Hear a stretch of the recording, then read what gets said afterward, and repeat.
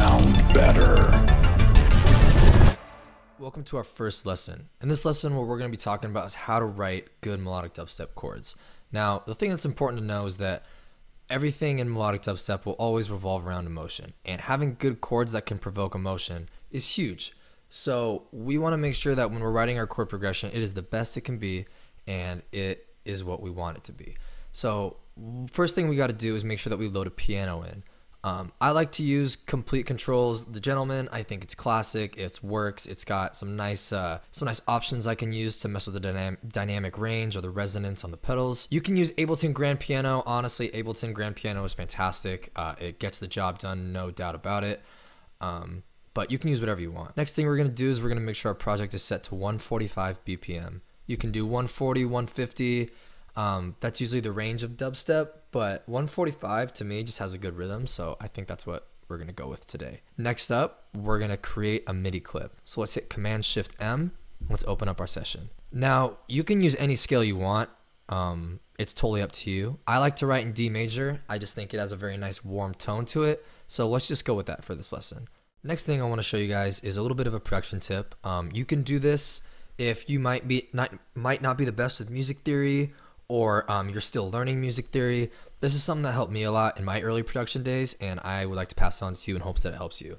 But basically, what we're going to do is we're going to set every note within the D major scale all the way up to its next octave, which is uh, uh, 12 ha- whole step, half steps. Um, and as we set these, we'll just ghost them out so we know how to reference them.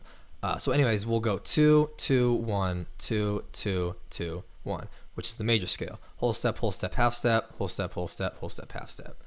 Um, and then what we can do is we can actually hit zero. And now that these won't ever play, if we play anything over them, what we still know is at the end of the day, we can always come back to these notes because these notes are in our key. So let's get right into it. Let's start writing our chords. First, I'm gonna start with a D major chord.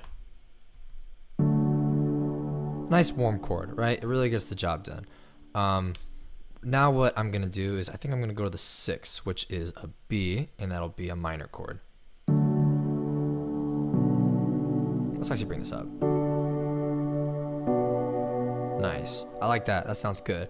Now I feel like this wants to go to the five, so we can bring this down. And if we look right here, that's actually gonna be A. So we can go to A.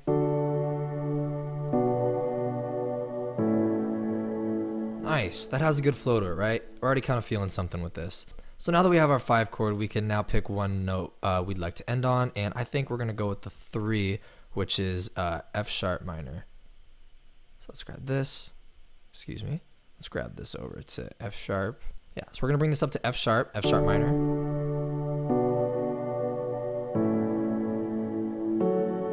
Nice. Cool. So we have a basic idea. Um, and since we are learning intelligent producers, we are going to make an eight bar loop. And since we're running melodic dubstep, we got to have some good chords that variate. So let's get into our eight bar loop. And we don't have to do anything crazy over here, honestly. Uh, we can come with that with our melody, but we do want it to be a little different. So.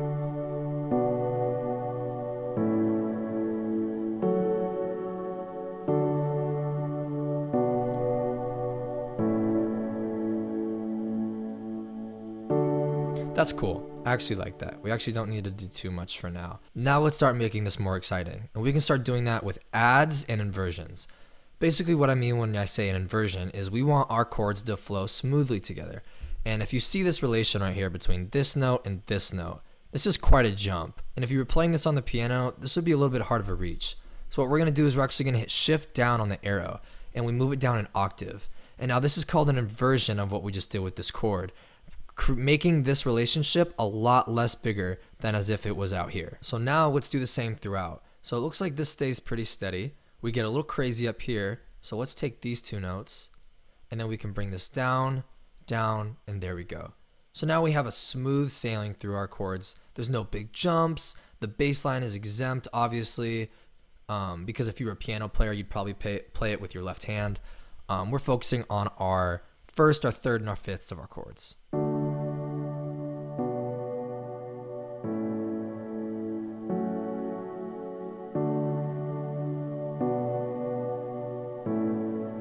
Beautiful. Cool. We're making some good headway.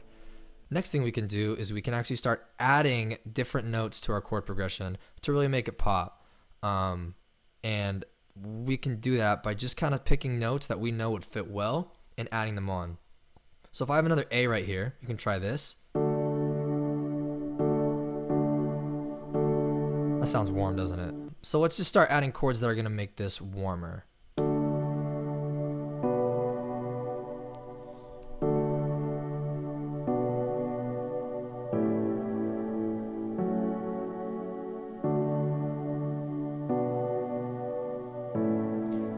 See now already it just kind of feels a little more cooler, you know?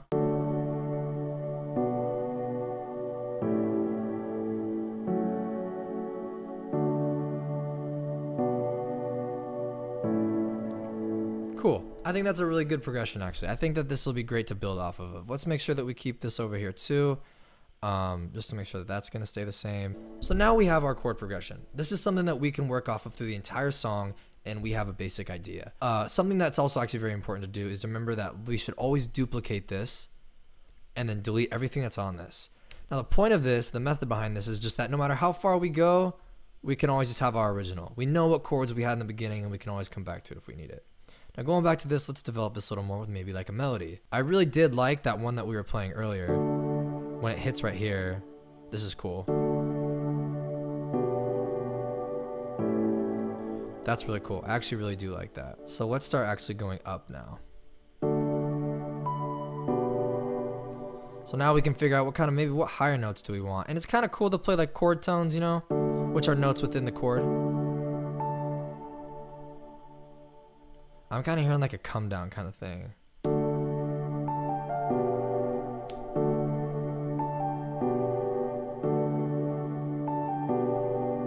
Yeah, something like that.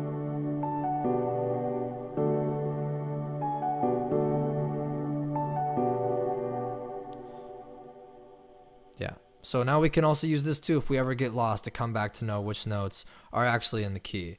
Um,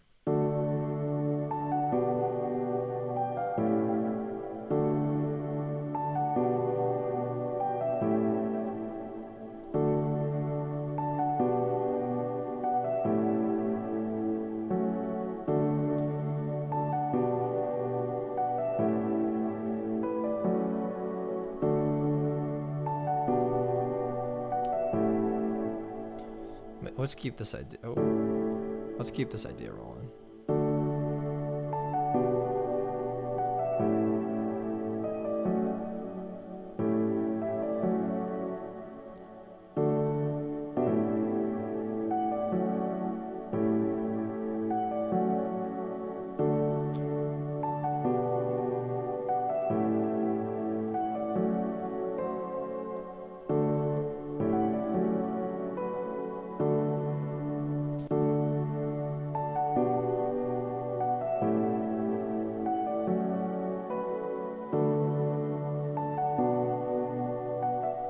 And maybe we can go up on this one.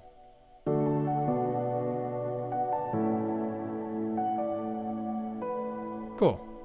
So now we have a chord progression. This is something that we're gonna build off the rest of the song and the rest of the project. This will be our base. I really like how this sits. Um, I think this is a great chord progression to build off and to make a cool drop into.